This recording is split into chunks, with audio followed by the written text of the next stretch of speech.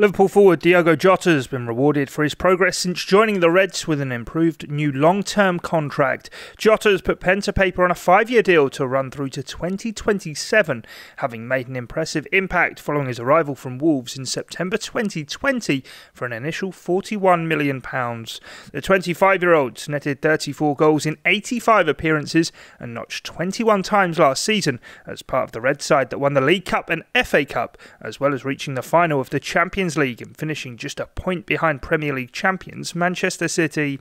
Liverpool were keen to recognise the development of Jota, with the contract in keeping with the club's strategy of rewarding players on the basis of individual progress and their contribution to Jurgen Klopp's first team. Liverpool sporting director Julian Ward oversaw negotiations following positive discussions with the player's representative Jorge Mendes during the summer.